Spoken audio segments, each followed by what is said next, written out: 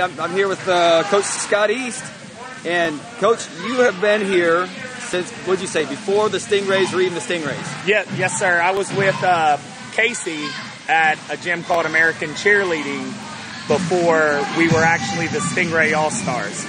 So it's been 12, 13 years now. Wow, wow. So you've seen it all develop. I've seen it all since Yeah. the beginning. First year, nine teams, you know, high 200s in kids to now 24 teams and three different gyms, three different buildings. Wow, wow. That's, I mean, that's that's something to be quite proud of. I mean, seriously. I mean, that's it's pretty staggering. Yes, sir. I'm super proud. I couldn't think of a better place to be. I couldn't think of better people to work with. Um, it's my my family. I'm from Ohio, so I don't have a lot of family here. I have my wife and her family and the Stingray family who's been here. You know, good times, bad times. Just it's my family.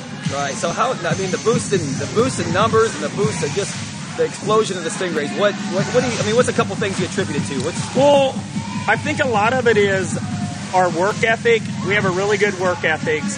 We're really more moral. We have good morals. We're, you know, we're really positive.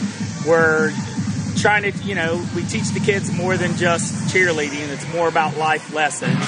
We're, you know, more than just a coach. You know, we're their their their friend, their family. You know, it's you know, if you treat people right, people will stay and people will come because of that. right? Well, looks like you guys are doing a heck of a job. Thank thank you, sir. Thank you for your time. You bet. Any last words? Let's go Rays. There you go.